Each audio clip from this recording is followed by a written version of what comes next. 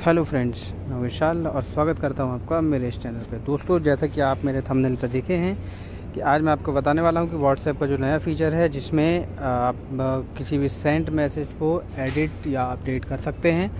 तो चलिए, वीडियो को आगे बढ़ाते हैं। वीडियो को आगे बढ़ाने से पहले रिक्वेस्ट करना चाहता हूँ कि यदि आपने मेरे चैनल को सब्सक्राइब नहीं किया तो प्लीज़ सब्सक्राइब ज़रूर करें।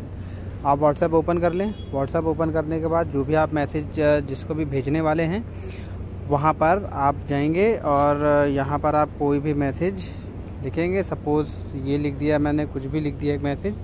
अब हो सकता है मैंने ये मैसेज जो लिखा है, ये गलत लिख दिया है। तो आपको क्या करना है? आपको इस मैसेज को टैप करके रखना टैप करके रखेंगे तो ये सेलेक्ट हो जाएगा। सेलेक्ट करने के बाद आपको थ्री डॉट पे जाना है।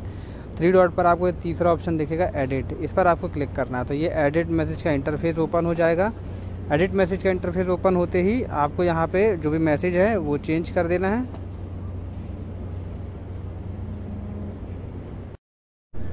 तो यहाँ पे जो भी आप मैसेज लिखेंगे कि जैसे मैंने यहाँ पे लिख दिया कि हाउ आर यू और सेंड पर मैं क्लिक करूँगा तो यहाँ पर देखिए हाउ आर यू चला गया और इसके बाजू में एडिट लिख के आ गया। दोस्तों, यदि ये ऑप्शन आपके मोबाइल पे नहीं दिख रहा है तो आपको कुछ नहीं करना है। आपको सीधा आपको आपके प्ले स्टोर पर जाना है और यहाँ पर जाने के बाद आपका जो व्हाट्सएप यहाँ पे आपको लिखना है। अगर आप व्हाट्सएप बिज़नेस यूज़ कर रहे हैं तो वो और उसके बाद आप ये चेक कर लीजिए कि यहाँ पे अपडेट दिखा रहा है कि नहीं दिखा रहा है। ये अपडेट होना चाहिए और यहाँ पर ये अपडेट हो जाएगा तो यहाँ पर वो ऑप्शन जो है आपके पास एडिट का ऑप्शन वो इनेबल हो जाएगा।